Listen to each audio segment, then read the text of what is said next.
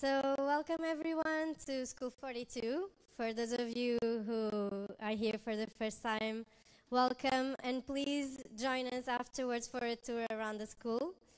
Um, we would love to take you around.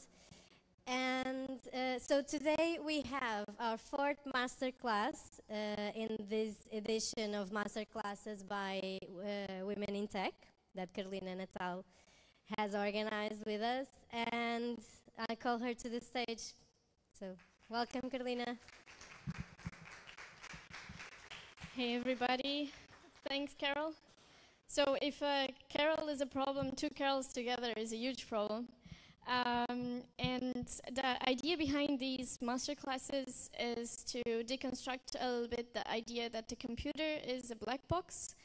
And um, we have actually very good brains here in Portugal working in those fields. And that's why we wanted to introduce you some of these topics. Today, it's going to be one of my personal favorites because I'm now studying AI. And the future of AI hardware is insane. Like, we're going to have Dr. Asal with us today, which I call to the stage, yes, which is a very, very passionate teacher and also a very good friend. And I'm very excited to have you here. Thank you for accepting this invitation. And yeah, the stage is yours. Thank you so much. Yeah, thanks, Carolina.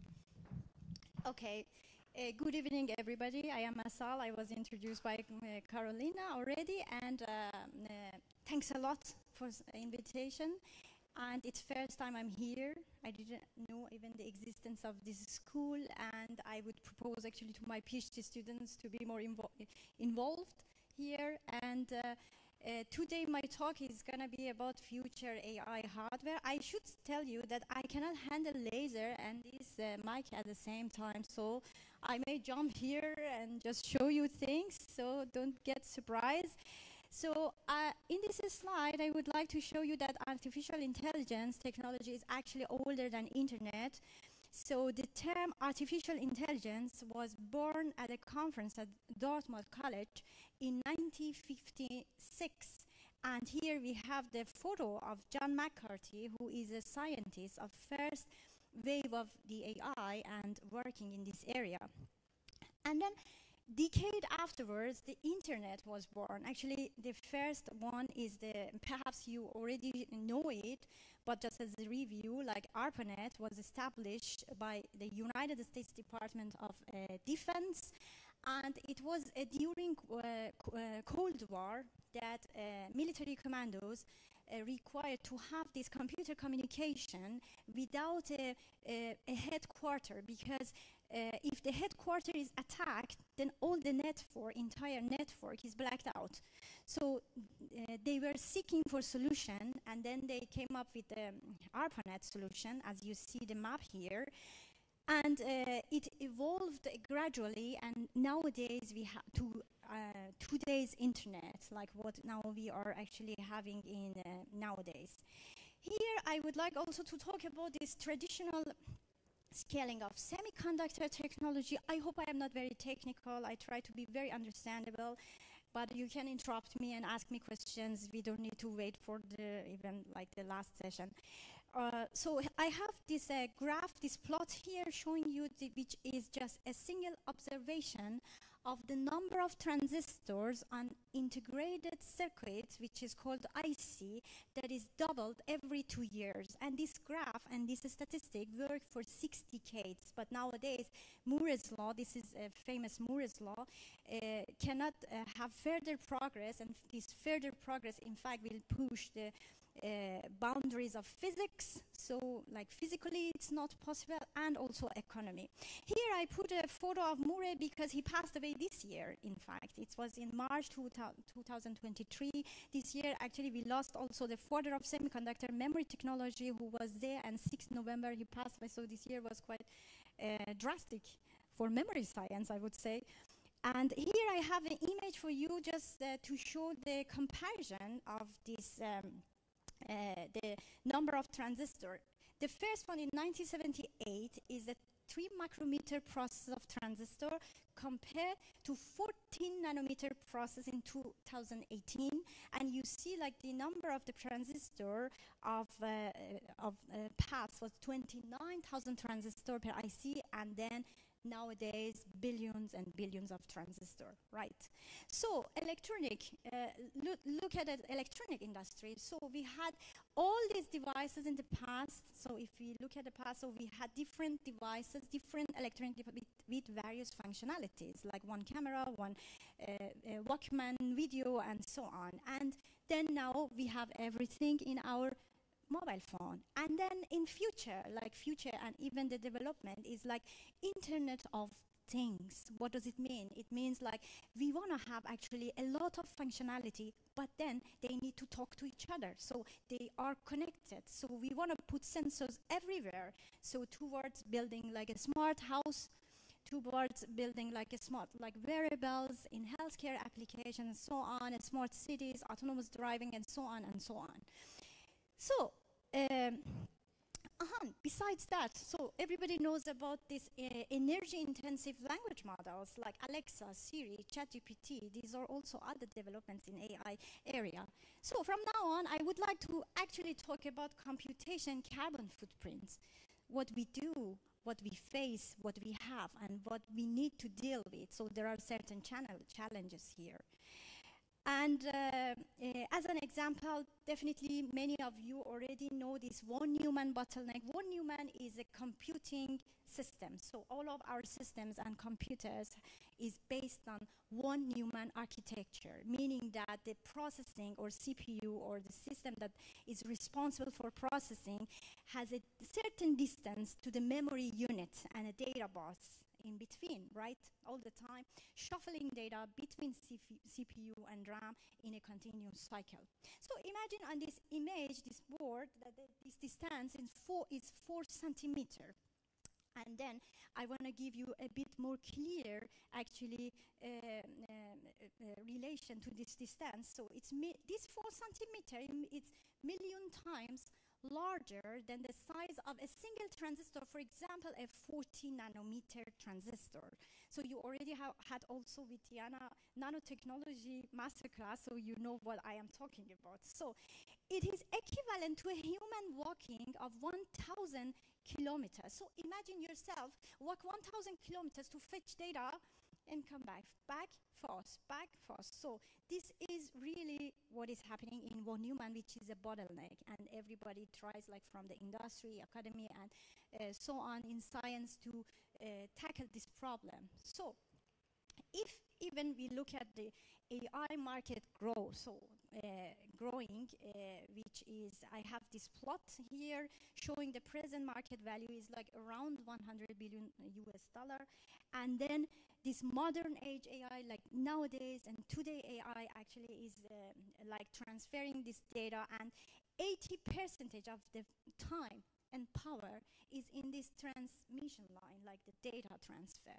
And at the same time, you put sensors everywhere. So where the data is going to be computed, you send this huge amount of data to the cloud, and it's going to be computed, and it's going to come back, and then you have also privacy issue if it is a med medical data, right?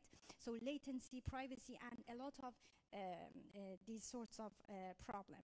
Let's look at this. Um, uh, uh, this graph, energy consumption that was presented uh, in one of the conference actually last year and uh, which shows that in fact these big tech chatbots, all of these ChatGPT and so on and so on, all of these uh, language, uh, natural language models and so on, like this race, at one day may blow a fuse. So we need really to come up with the market dynamics to uh, limited scenarios to handle the energy. So let's look at this uh, news, for example, this one. Tsunami of data could consume one-fifth of global electricity by 2025.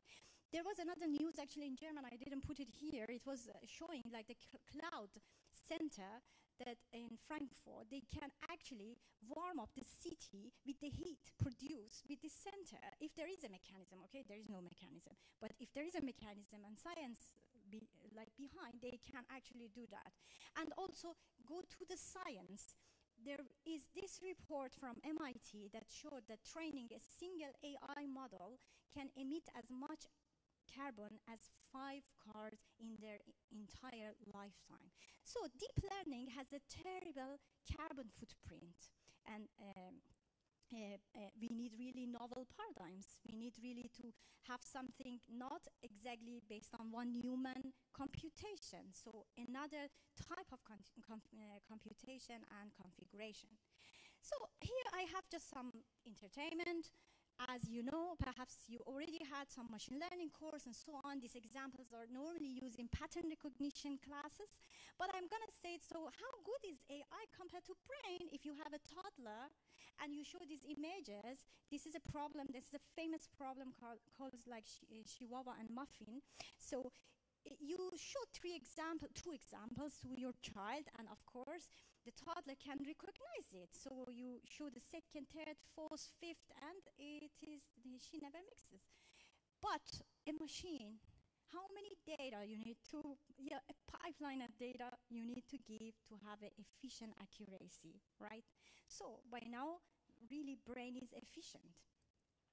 But again, have a look on this example how do you characterize this following object and in between? What are the kikis and what are the boobas so majority of people say the boobas are the ones round and the kikis are the ones that are in triangle because we have unconscious brain bias this should be avoided by AI machine. And this can be avoided also in the programming. So human perception and pre-perception can easily lead to biased conclusion.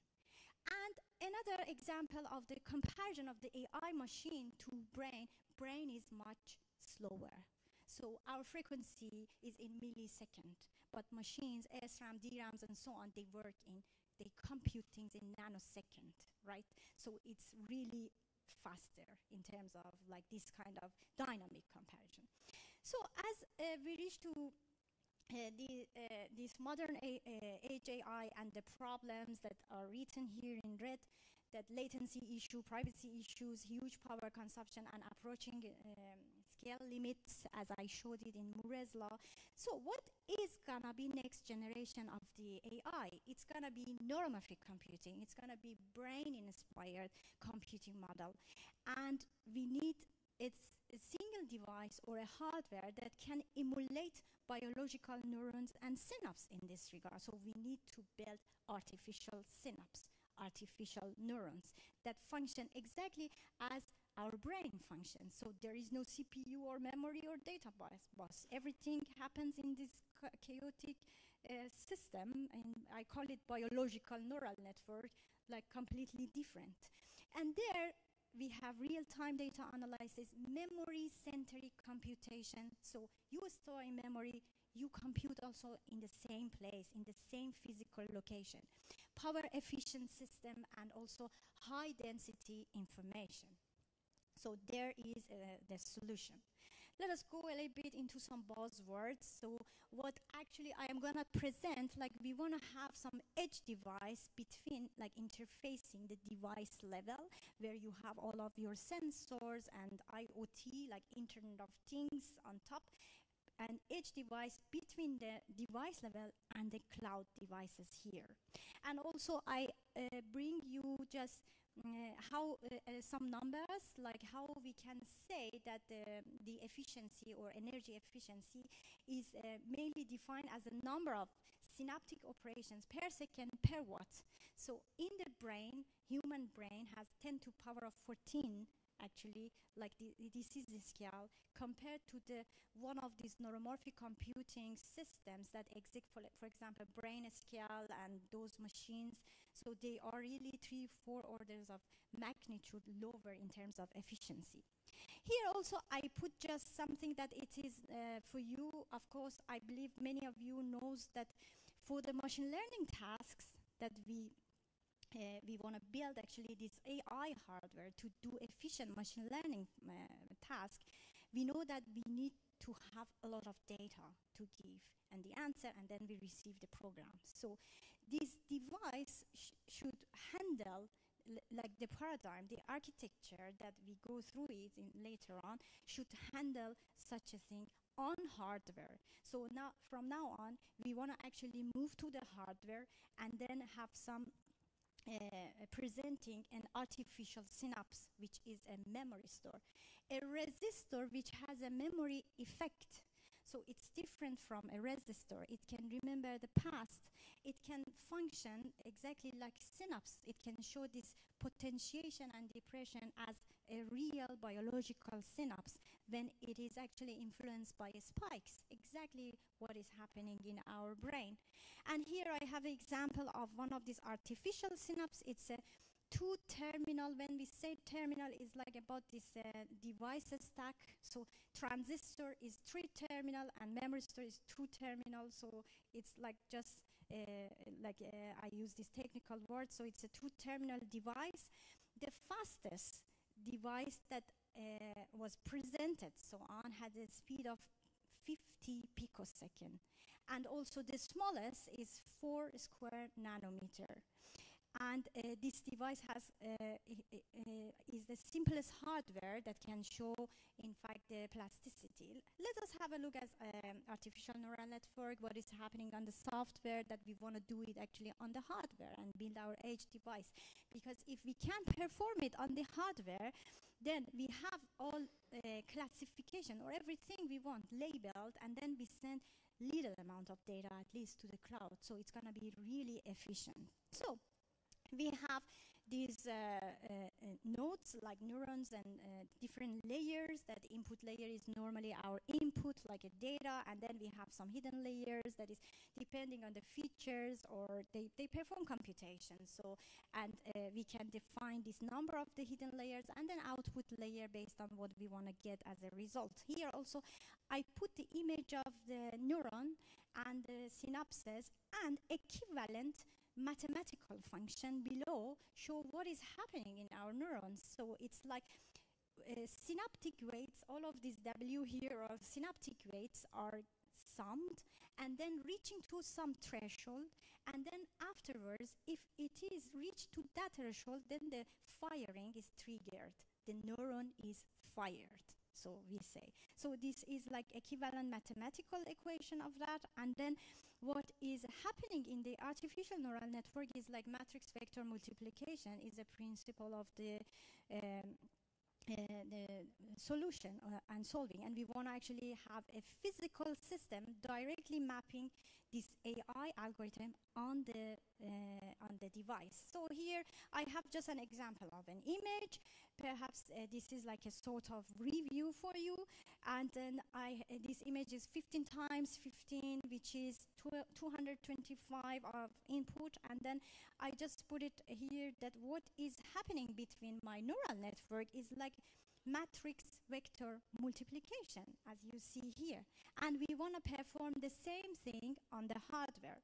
So here I put my mathematical matrix. This is something that we have, like, like of course, we know it from the high school. And this is a device on electronic that I am going to show you. So I'll, in the electronic uh, like platform, in every intersect, we have the artificial synapse.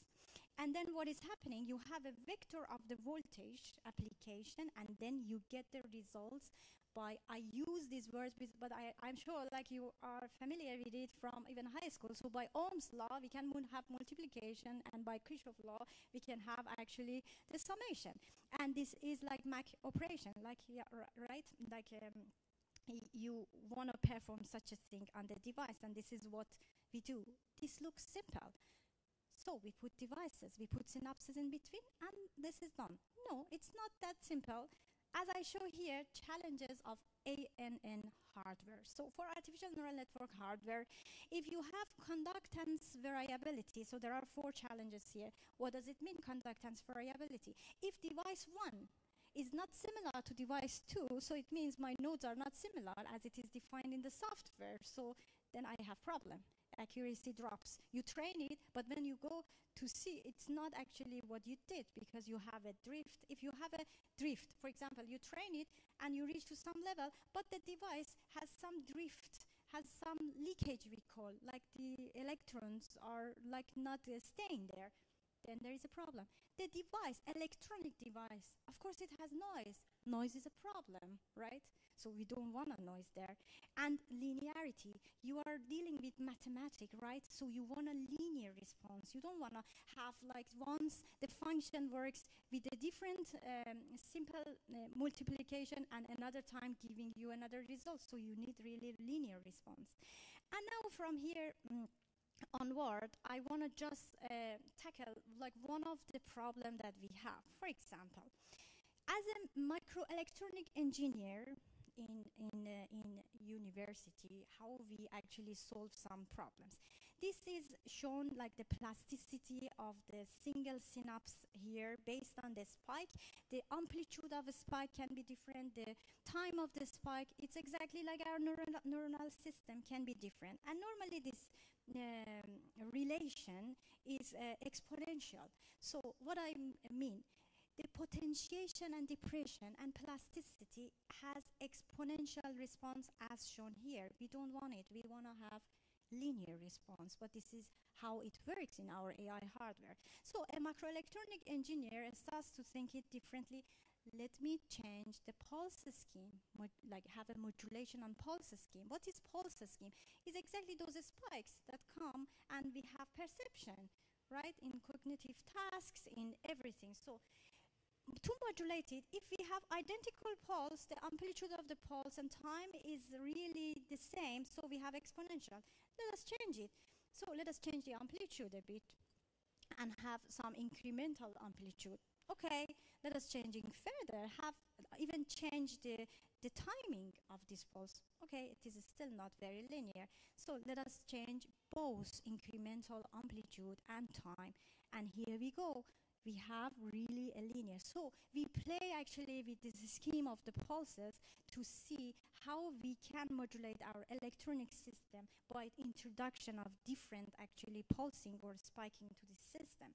So as soon as we solve the problem, then and we have a linear response and it works very well over many cycles which you need for trainings which you need for really uh, uh, performance of your uh, your network.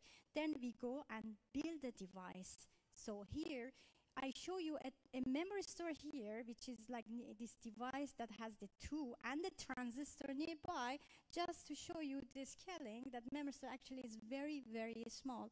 And this transistor is a switch, like a switch of the, like on off, but we needed to be there, seated there. And then we build um, this uh, and uh, perform also these plasticity characteristics. And then afterwards, you're familiar with this, perhaps like we try to simulate it and see, okay, if my artificial synapse is gonna work in our uh, AI hardware, how it's gonna be accuracy. So we've uh, fed the um, this, uh, this is the simulator uh, with our synaptic characteristics, once exponential, once linear. Here is a task is like based on recognition of MNIST handwritten digits, and then we did some pattern recognition, and clearly we see if we have exponential response, the results is gonna be the accuracy is around like 77 uh, percentage and if we have linear response the accuracy is actually very nice. Of course it's not reaching to the software yet so we are still on the development and it's really on hardware so it's not gonna be uh, as easy as you change things in the code. We need to change actually a lot of things in fab, fab, like fabrication of the devices and hardware. So here we go. So we have everything. Let us build a crossbar. Let us map. Let us have this um, uh, vector matrix multiplication with vector of the voltage and map the conductance so it works very nice and perfectly. So afterwards, since our technology is dealing with the uh, flexible, uh, like it is adapted for flexible substrates. So we build actually this um, crossbar on the flexible substrate towards wearables, using it as an edge device on wearables and so on. And in fact, it worked well. And we tested, we bent the device, and we tried to have this um, vector matrix multiplication, and it worked quite well. So I would like actually to finalize my speech or my talk uh, by showing these great scientists. They are alive. Okay, so, and uh, one of them is Chua, who came up with the memristor idea and uh, like a mathematical functions. Uh, if I'm not mistaken, in 75, he had an article showing that um, uh, introduced there should be another fundamental uh, passive element uh, that is called memory resistor and memristor because this element based on the mathematical functions and all the theories that he developed this property cannot be replicated by a capacitor or by a resistor or by inductor. So a passive element is missing in the electronic area and it's called memristor. But it took 40 years that this theory come to, to be formed as a physical device. And I should say thanks to nanotechnology because then afterwards in HP, HP Group, like and led by Stanley Williams, so they started to work on it and build the first physical device just because of advancement that we have in nanotechnology. Because this device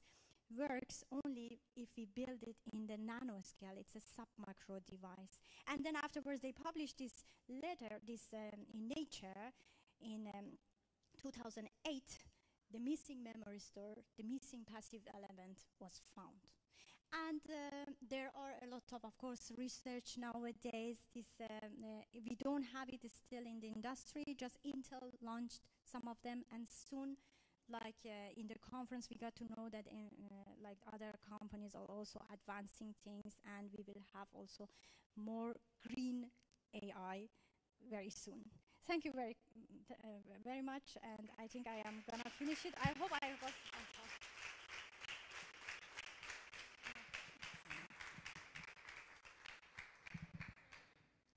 We're now open for QA. Anybody, or I'll volunteer as a tribute. okay. Yeah. Cool. For the pulse scheme modulation, it is another hardware level, right? Can you give us an, an, idea of how you can modulate the pulsing uh, with hardware, not software or firmware? The, the thing I showed you is just synapses. Of course, we need a periphery circuit. And these periphery circuits are built based on the transistor because I'm working on flexible electronics. So we try to have uh, the transistors we try to drag here to the work are the transistors that are used in display technology. And then uh, for that, we need to have a periphery circuits like around. For now, what I showed, it's like just a stimuli from an analyzer. But soon we will have the complete circuit and uh, STDP, spike time dependent plasticity model, because we are seeking actually a spiking neural network. It's very difficult, but we are seeking uh, uh, to have performance like based on this neural network. And yeah, the periphery is actually thin film transistor. Yeah. Mm -hmm. More questions? uh, About the memristor, uh, it only stores data while there's energy on the system, right? It's not. It's not going to store data when there's no energy, like uh, an SSD, right? Okay, okay. Just uh, depends on the answer, but if you still have, if you still need a separate storage device, it's still going to be very slow, right? So how can you store everything there? So let me tell you what Memristor does. Actually, like in an SSD, for example, or a flash technology, so what we have is a non-volatile memory, so it is stored its information, and then we process things in RAM, which is faster, is in nanosecond, and so on. What Memristor does is do two actually things at the same time. So it's it it has a memory-centric com computation. What is it? What does it mean?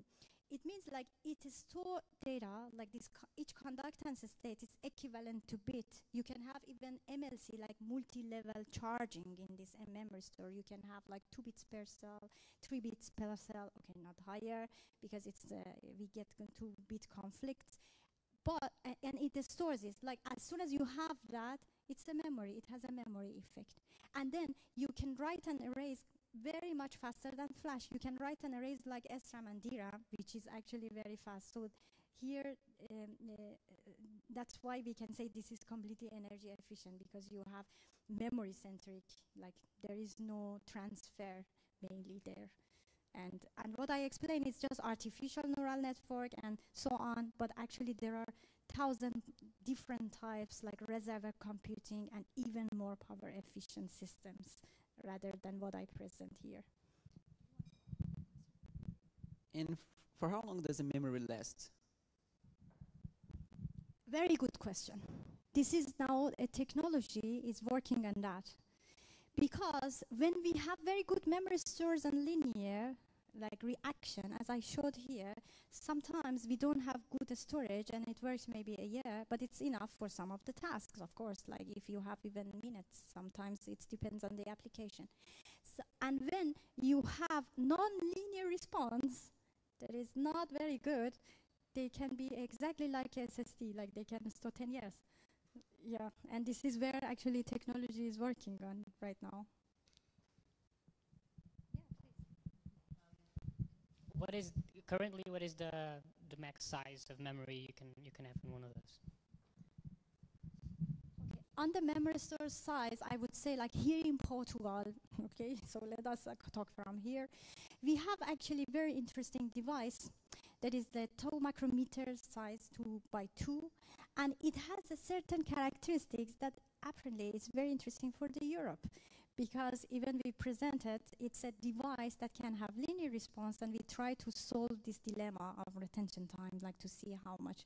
So this is the device here we have in Portugal that is quite nice and now we have collaboration with actually many countries and in European projects they are very interested in what we are building we were building and uh, doing some progress but there are devices really really small like um, uh, I have to say like the biggest center is in Jülich in, in Germany, in Europe. And of course, it's in Stanford, right? Yeah. And they, there are devices that are different type. Because this memristor I showed, actually, I have to mention, this is one type of memristor. We have a spintronic memristor. We have uh, a lot of uh, quantum, optical, and so on. And then they have different device size. And uh, the smallest I showed, it was 4 square nanometer, but that one is not functional for the circuit. It has some uh, still problems. But there are really like 70 nanometer squares that they are even used in the uh, circuit, but another type, not the ones that we are dealing with in Portugal.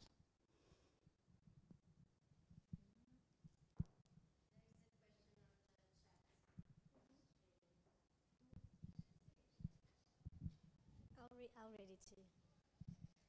So, so essentially, the software and hardware neurons work more or less the same way, but there is less noise. We could expect a faster learning process with less errors to sort out.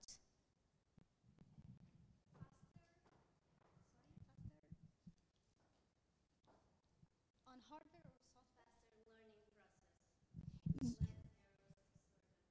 Yes, uh, we are working on it to make it done on hardware. Of course, on software, everything is easier and everything is already very well established.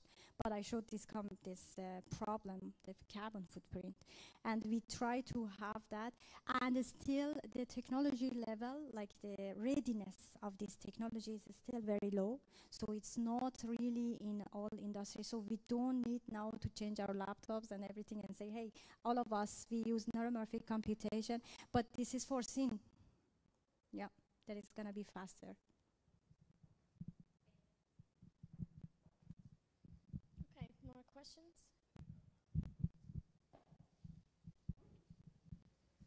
Um, so we, last time we saw com quantum computing, and uh, this kind of computing uh, is is used for very specific situations. Okay, so uh, as we were told, um, it it it doesn't uh, or it will not substitute the the current uh, computers that we use. Um, is this the same or, or uh, is this just a niche thing? Uh, are we going to have uh, everyday electronics that uses this kind of um, hardware, let's say.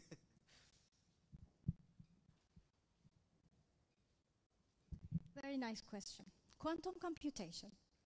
In quantum computation, actually, it works in a very, especially for certain applications, works in very low temperature. This means a lot of energy. So it's not energy efficient to use it every day. So there are some problems. Then we need to solve those problems. So we go and seek for that. It's accurate and so on. This is a everyday paradigm. So we actually want to have this in everything, all the sensors, every computation that is happening. So we would like to have this kind of like systems, like neuromorphic computing, memory centric, and using this sort of hardware. Actually, this is very energy efficient to build in terms of like economy. Also, it's low cost, and at the same time, it's very efficient. It's fast and uh, has low carbon footprint. Quantum computation has huge carbon footprint. More questions? Okay, I do have one question. Um, so we see that part of the computation is already happening in the hardware, uh, but a part of the computation will always have to be uh, sustained by the software, right? So, uh, and you will always have to somehow push it to the cloud. Do you know already a percentage of how much computation can we have on the hardware and how much would be then go to, to the rest? There is a current work now we are involved actually, and it is um, like mainly, for example, in this current work, we do some classification of brain signals, right? like the first step of classification, it's happening on hardware, and then the labeled ones are sent to the cloud, and it's completely efficient in this work. But if I have to give you the number, we, I cannot give you just yeah as a like uh, a, a number, like a percentage or so on. Yeah. More questions? Okay, I do. okay. Sure.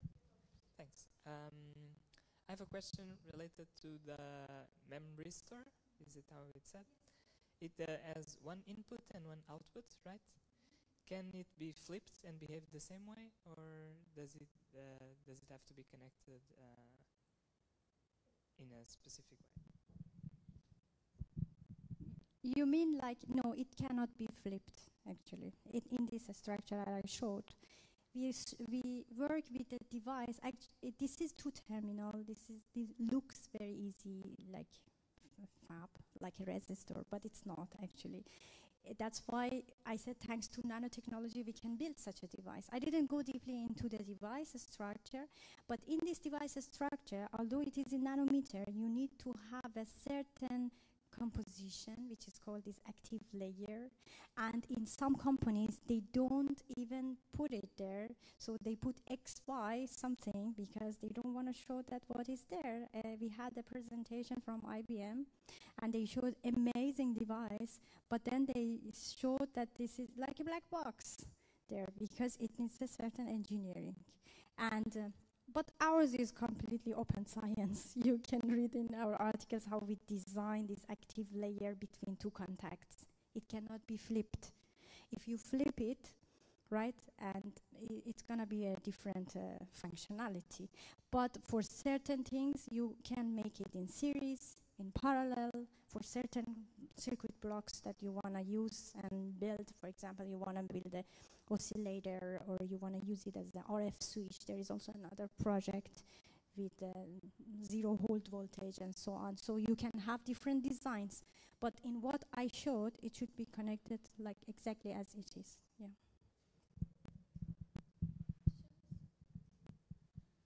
Um, okay, one more question. Um, the um, so as I understand it, it stores information, and the information might be, for example, how many times it has been has been passed current through it. Um, how is the output different if it has passed once uh, current through it, and if it has passed zero times current through it?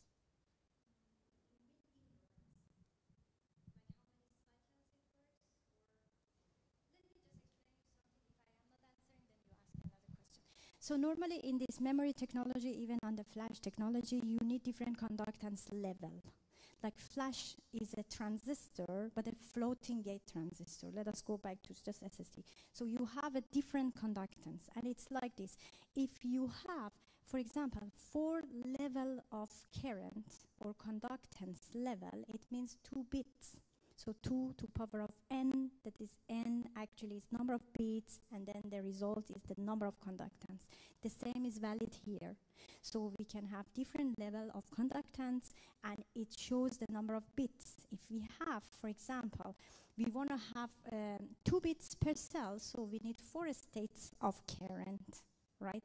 If we want to have 3 bits per cell, then it is 2 to the power of 3, so we need 6 states, right? It's, uh, sorry, 8 states of the current, right?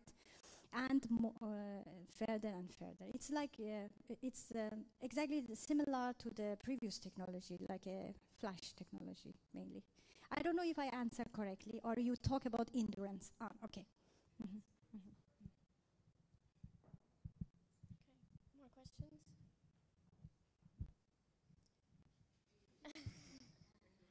Okay, then, oh yeah?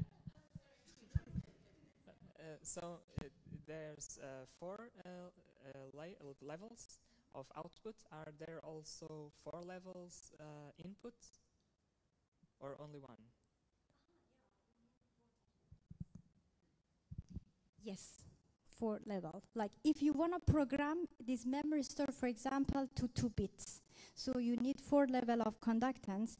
The input is a voltage, the ones that I showed, and it should be different voltage input for each level because otherwise you cannot have this four states. So once at a certain voltage, then another time. Or the input, as I showed, that a spike has like an amplitude, let us call it the voltage, like um, potential, and the time. So you either change the time with different, like four, for four states, or change the spike amplitude. It needs to have it like that, yeah.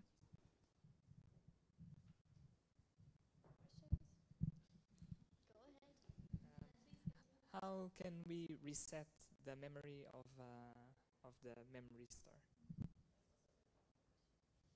It's a very good question. I was missing the IV characteristics here because I was thinking like it is too technical. If I go to in the uh, like everybody maybe is familiar with the transistor, but this memristor has a certain electrical characteristic which is called pinch hysteresis. So it's like a butterfly when you apply the voltage, it goes on on one polarity and off on the other polarity. So you apply, for example, positive voltage, then you have a lot of levels and you want to erase it, you apply negative voltage on it, like on this certain, certain one. Of course, uh, the, the other uh, ones have different functionality. So I didn't show actually this pinch hysteresis here. but uh, you can search it. Immediately the pinch hysteresis come and you see this beautiful butterfly there as like you with the application of the voltage, how you can tune it. And you have a memory window.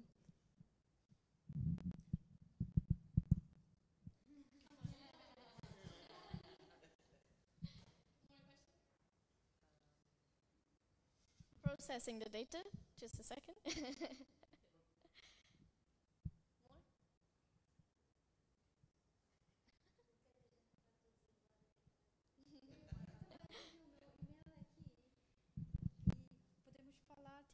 Vocês podem enviar também e-mail e vocês podem ir para também faculdade, para nossas reuniões. Falamos muito sobre ciência e mostramos coisas novas. So, yeah, email me, contact. It's, I will answer, definitely. Mm -hmm.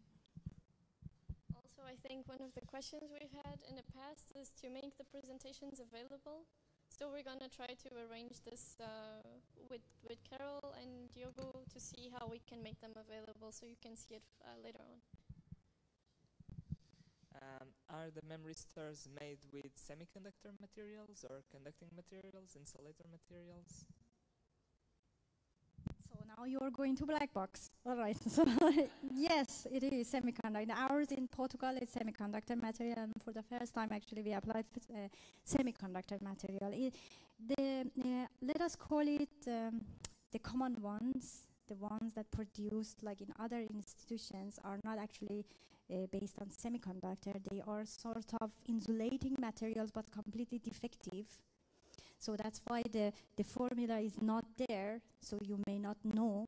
For example, if it is a certain, I don't know if you know, like the, in chemistry, the stoichiometric, it's not stoichiometric, so you don't know the amount of ions there used. In our case, also, there are some things and some tricks, of course, to do. It's a semiconductor material. It's the same semiconductor material as used in display technology. Why? Because we want to have even more low cost fabricating transistors from display, get every maturity of technology from the display technology and use it also for the periphery of our memristors of the same technology and same uh, run of application.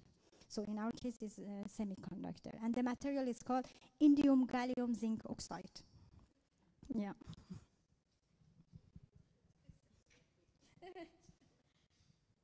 More questions? How many memristors uh, can we have on the same chip today? Billions. Yeah, it's very small.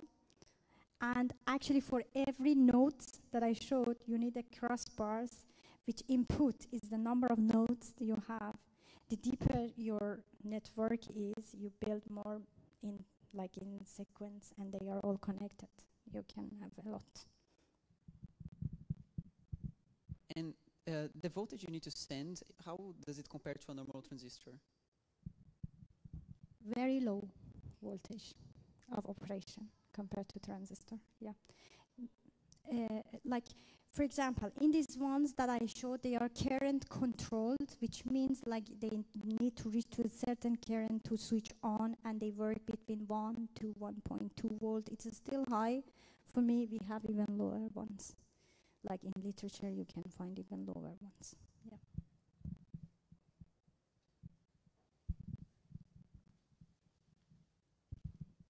Uh, what's the flexibility of the material uh, a need for the main, main memory or just a device functionality to produce anything?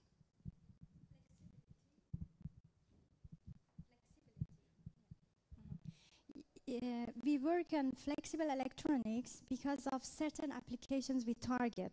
Actually, we would like to have uh, to use uh, our system for wearables, for healthcare applications. So that's why we use flexible electronics. But in a normal, like memristor application, it doesn't need to be on flexible substrate. It's normally rigid. Actually, it's very challenging to have it on flexible.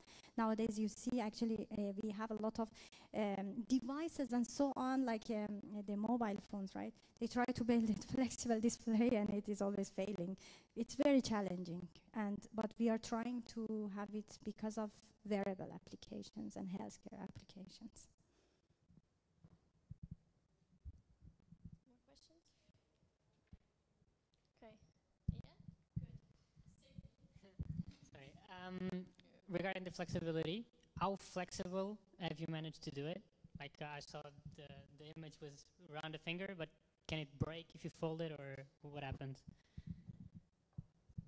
Uh, we do not break memristors but transistors. yes, yeah, because they are large and memory are small, so normally with this uh, radius that you saw, we don't break those devices, but the problem is on the switch side. So, and the solution, what we are thinking is like, how if we build the crossbars without switch? So we need to design and engineer our memristor that work in a certain level that they don't need switch. And it is also another project that we have to get rid of transistors actually on the crossbar.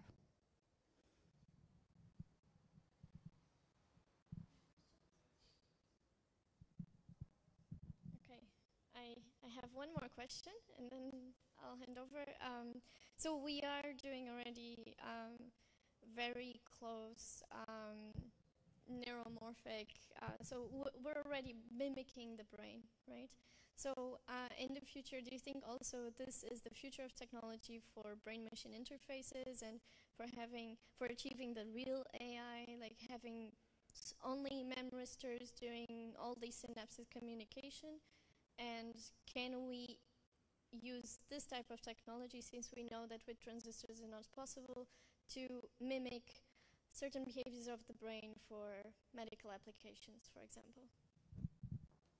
Yeah, very good question. Yes, definitely. But the problem is we don't know how brain works. So we grab one of the model, which is plasticity, and then we start to, to work with it. And I still between neuro neuroscientists because I had I was involved in a project that we didn't get the funding, but I noticed that neuroscientists have a lot of fight over this topic that how brain works. So we try to mimic something that we don't know how it works, but we have some models and we try to build this artificial intelligence based on that, that model. But definitely it is future. Neuromorphic computing and also like uh, it's it's like uh, two science at the same time growing developing and mimicking like the artificial one of course emulating the real one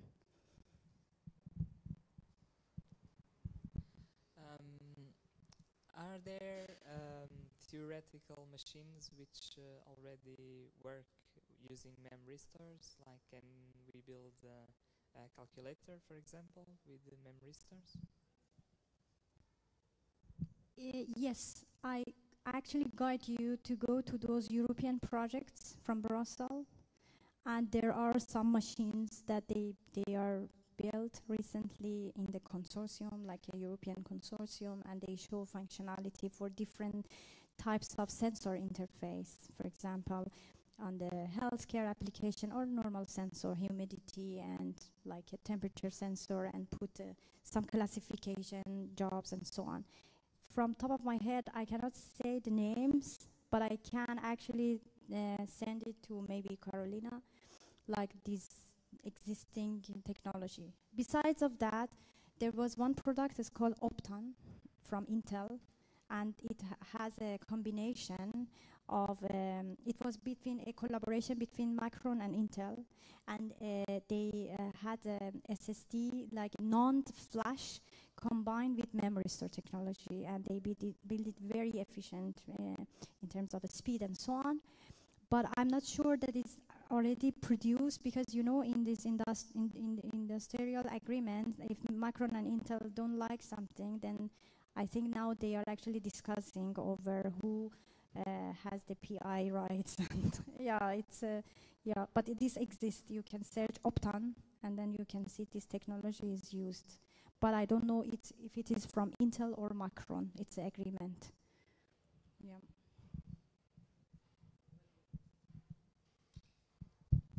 Hi. Um, not not in a technical level. Uh, I would like to know the the well the processors nowadays. The the most powerful processors are built. I think it's in America. They they own the technology. Uh, with this technology, uh, well, first question is: Is it easier to to produce than the most powerful processors? It looks very complicated, but I don't know and um, if uh, if it's going to allow like Europe to have uh, companies building processors like this or other companies like in Africa, China. Yes, very good question. It's a race time, really. Unfortunately, in this um, science, nobody reveals nothing because actually they are working on it. So there are many patents available, but you know nothing. So yes, it is coming. yeah, like I, am sure, like all these industries are working on it, and from time to time they have presentations in scientific conferences, and we get to know like those black boxes, like how they they work. But it's not like university that we publish and open science. But yes, it is gonna be very efficient, and industry would. Who is first? Which one is first? Is the winner, right? Of course, they don't wanna give the secrets, right?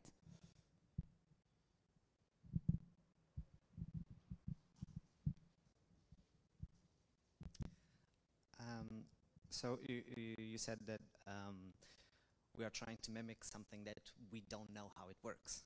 Okay, can um, or is someone actually doing uh, the other th uh, the, uh, the things the other way around? So trying to understand how our brain works by using uh, uh, this new technology.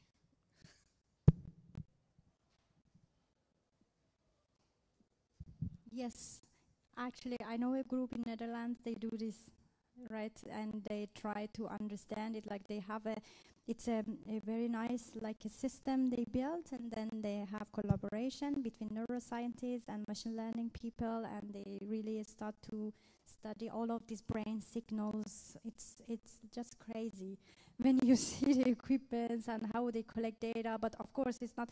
We don't let anybody put a chip here, right? So there are certain disease. They need to survive with the chips, right? So they allow that the data get analyzed and then because the problem is also data. We don't have a lot of data, right? Because we don't let this goes everywhere and uh, yeah but it, it exists, yeah. well, um, I think so. I think yes, but um, well, you know that this uh, Neuralink, United States is the first, but we would like actually to have. But the science is in Europe, so we. I don't know if you you know there was a very fa uh, famous graph that all the articles, publications, and science, like 90% exist in Europe, but who implements is Elon Musk, right? I mean, like we don't implement it in Europe, and this is a real problem, right? Like we, we do a lot of science, but uh, the gap between industry and the science part is really large. Mm, there is no fund really easy to really implement your idea for like a little company, the ideas are getting lost, you pay patents, no investor comes. So there are problems in Europe really, which doesn't exist in other continent. So then they implement our science, yes. yeah, actually, I don't know if you guys saw the news about uh, Neuralink's chip um, to be implemented in the brain for somebody that is quadriplegic and I think if there was already a lot of candidates, I think like thousands of candidates to, to have this surgery because it can be uh, life revolutionary for them. Uh, it, it can actually mean that they get a little bit back of their lives. So um, yeah, I think this one is, is going to be groundbreaking. There's also another um, American company, American-based company, but the CEOs are actually in Portugal, called uh, Neuroverse and um, they are doing um, AI powered um, wearables that and they do like um, neural recording and the problem is always like the adoption of the public right? Because we're already very used to these guys right? The the smartwatches and it's in my arm it doesn't bother me it it's there. I was used to to wear a, a watch before so it's okay. So now imagine going around with something like in your forehead or something. It's a bit more drastic and, and, and people often feel like, I don't know, people were complaining about 5G interfering with their brain waves, right? And stuff like this. So of course people are afraid to adopt these kind of wearables and then it affects all the data you have to train your models and to, to study the brain. And also the brain is quite shy so actually, when when you're recording from outside the the, the skull, uh, it's like being outside of a stadium. Like you hear chanting and you hear that there's a party going on there, but you have no idea who scored, um, and you have no idea what the lyrics are. And actually, when we try to do recording in vivo, and like we open a, a small like opening in the brain, and we try to record it in there, even if it's not invasive, uh, the brain will shut down this area and prevent you from any kind of recording, almost like it knows that it's being recorded.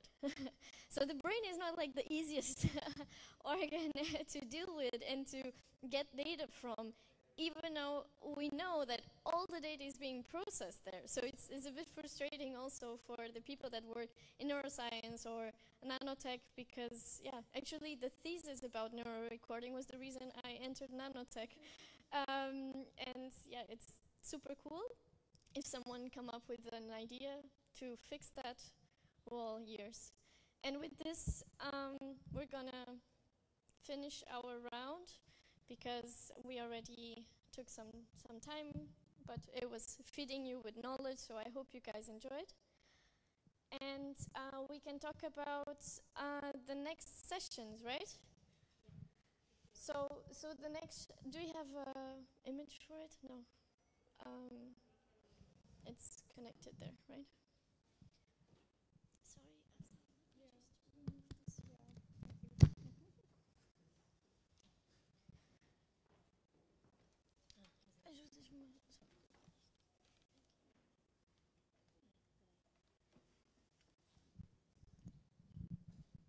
Okay, so we have two more sessions for our uh, master classes. The next one is going to be in uh, School 42 in Porto. Uh, so our Porto colleagues also have the pleasure of having some of these events. And um, it's going to be about cybersecurity. So we have presented a lot of technologies that are going to be disruptive in this field of cybersecurity. So how can people from cybersecurity actually prevent some of the issues that are coming with AI and pattern recognition, for example, or also quantum computing, decrypting um, the encryption algorithms. So this is going to be our next talk. And then the last talk that is going to be on the other week after is how to be an entrepreneur um, within all these disruptive uh, technologies. So how can we actually profit from these new technologies and build our own um, businesses and ideas on it? So, yeah. See if we can. Uh okay, there it is. Exactly. So on the on the 20th of November, so next Monday, it's going to be cybersecurity, and then the Monday after is how to be an entrepreneur, and then we come to an end. Yeah, I think it's okay. Yeah, it's good. Yeah, and thank you so much, everybody, for being here today. Um, and that's it. I hope you enjoyed it.